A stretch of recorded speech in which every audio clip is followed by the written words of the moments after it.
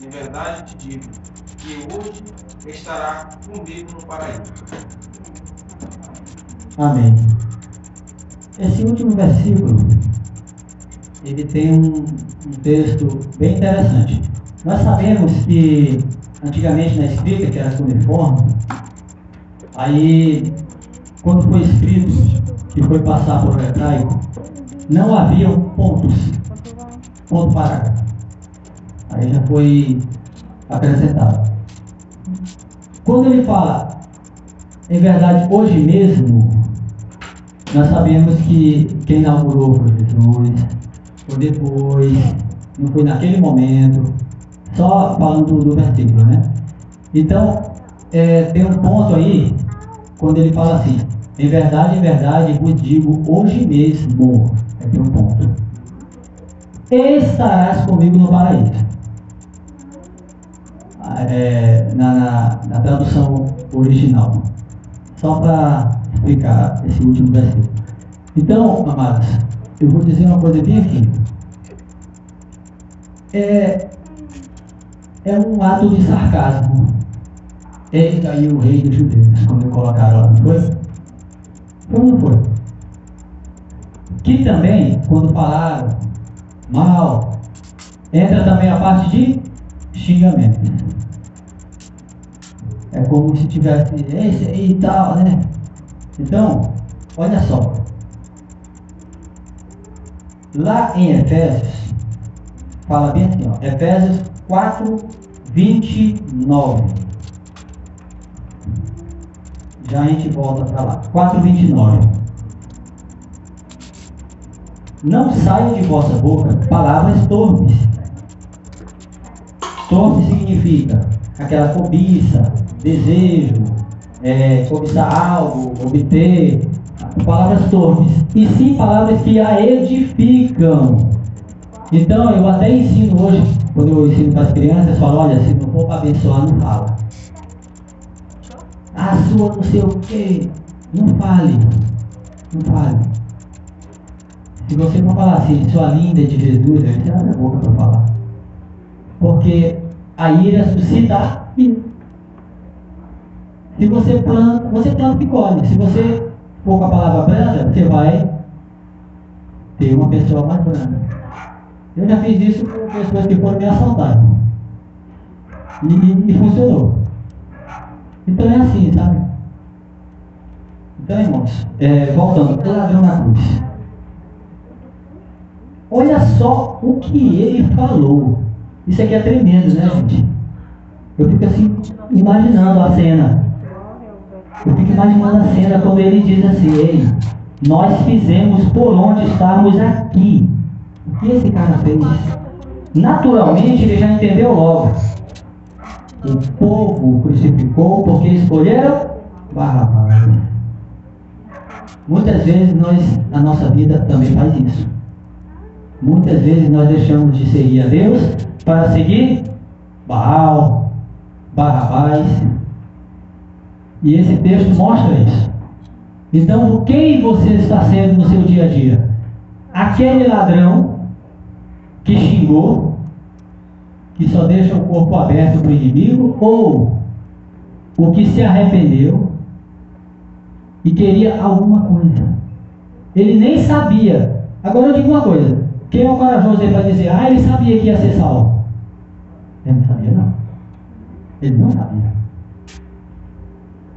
Mas ele estava ali buscando uma forma de purificação, uma forma de mudança. E é isso que Deus quer, é a nossa forma de mudança. É isso que Ele espera de nós.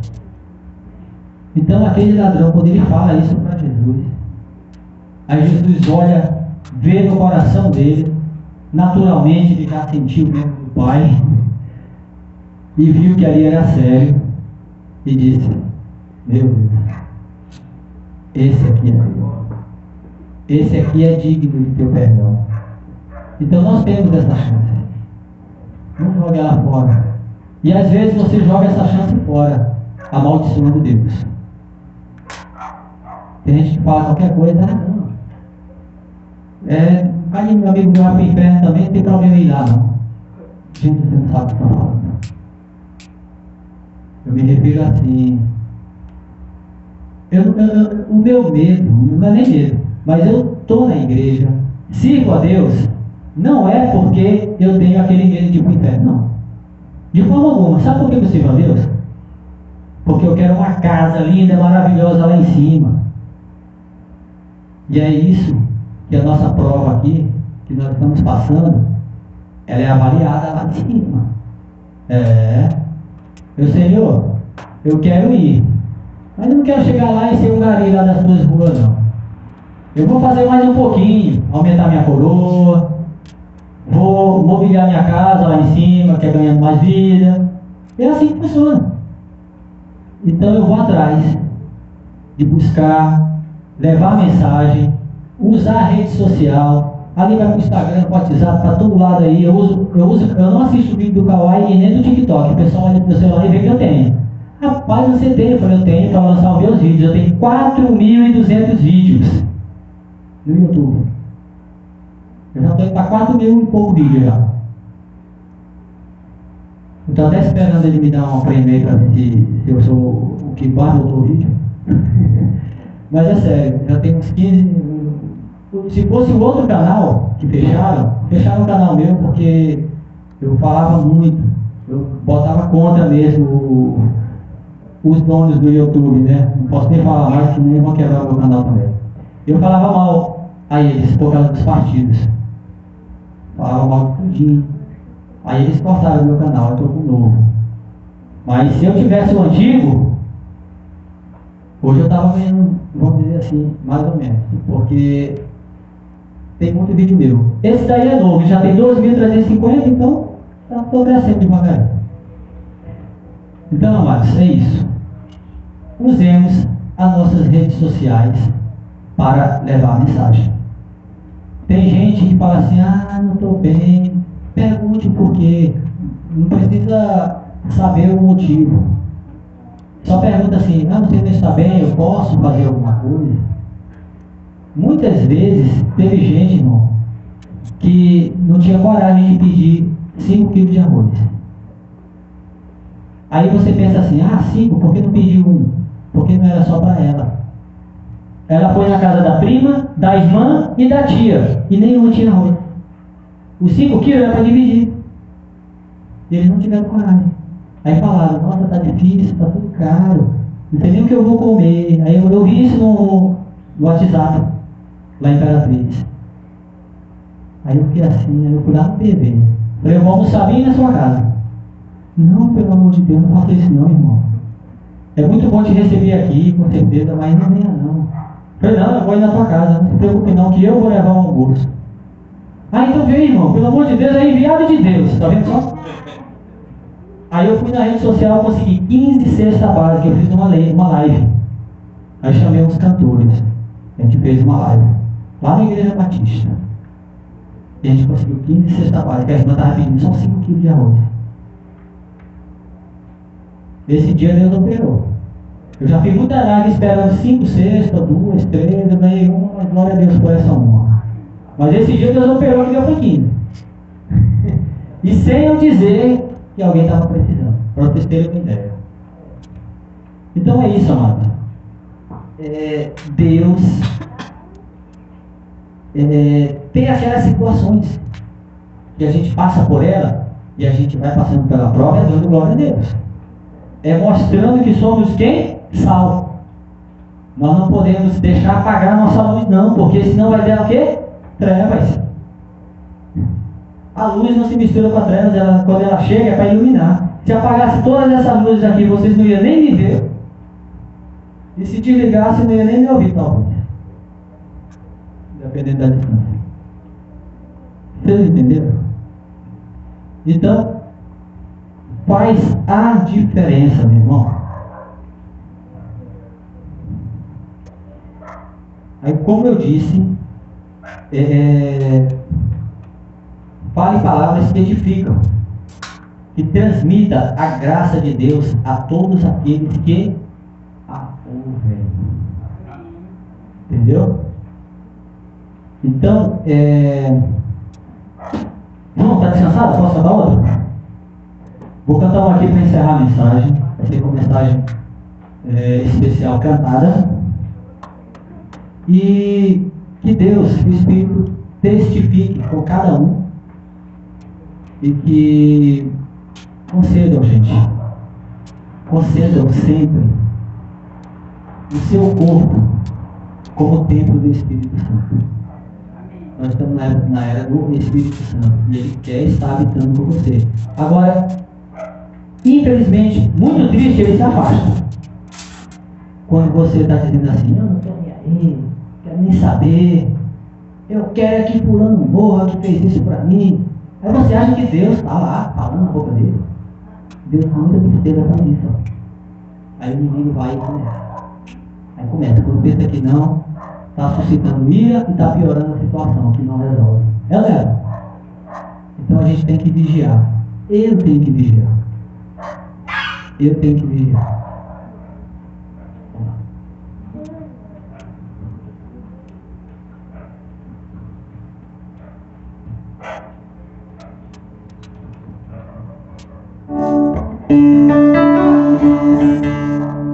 Interessante, eu tenho muita música minha.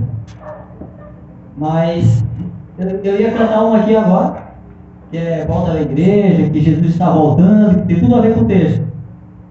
Mas aí na hora veio o ré e canta Vida Nova Sem Jesus. Eu vou cantar Vida Nova Sem Jesus. Eu vou escutar.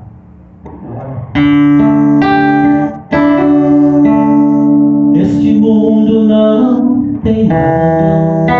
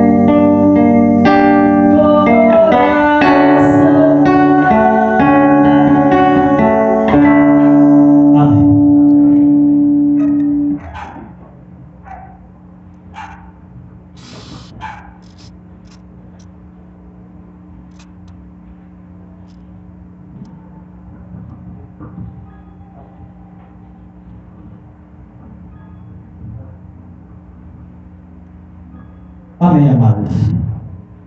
E que a mensagem dessa canção, Deus me deu ela três horas da manhã.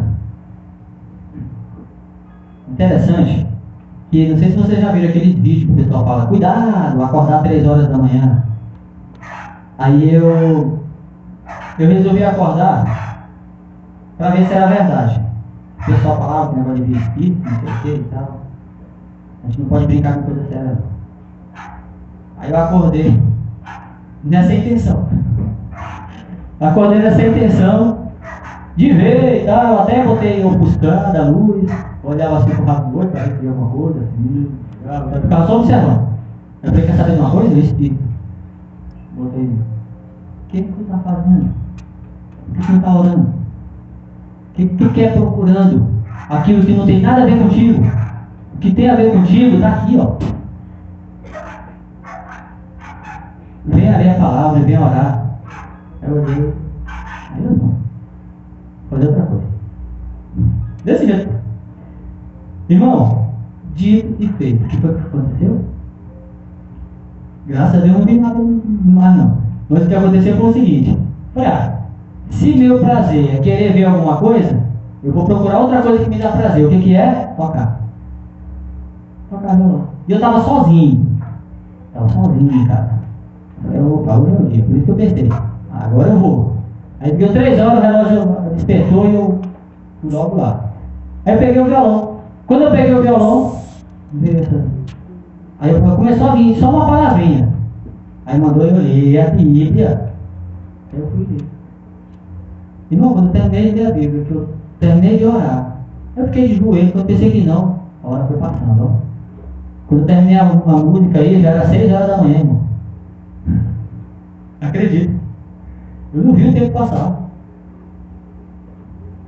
Aí eu, orando, cantando e escrevendo, cantando e escrevendo, cantando e escrevendo. Aí saiu essa música. Essa música saiu por aqui. Mas glória ao Senhor que eu não vi outra coisa não. Eu vi foi uma mensagem maravilhosa. Não é bonita essa mensagem, irmão? Ela me edificou, edificou muitas pessoas. Creio que vai testificar com o Espírito de cada um aqui presente. Oremos. Ficar em pé. Senhor, obrigado, Pai. Obrigado por mais uma reunião realizada, um culto, Pai, realizado para o teu louvor, Pai. Culto que não é o culto, é livre. Expressão corporal e de palavras em prol de teu louvor aqui presente, Senhor. Então, ó Pai, muito obrigado. Despeça cada irmão, ó Pai, a seus lares, com a tua proteção, Senhor. Que desvie, ó Pai, o ouvido para aquelas músicas que com certeza vão escutar, para aqueles palavreados mundanos, ó Pai, que não te agradam, para que eles não venham, ó Pai, se corromper ou achar que é normal.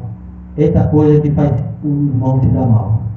Então, Senhor, para que façamos a, a diferença e que muitas pessoas, ó Pai, passam a nos ouvir falando do teu amor, Senhor. Nem que incomode, porque o Espírito Santo veio para incomodar mesmo. Porque ele quer exortar. E que, são, que seremos, ó Pai, exortadores do teu nome no dia a dia. Que possamos ir a lares em paz, em teu santo nome. Amém.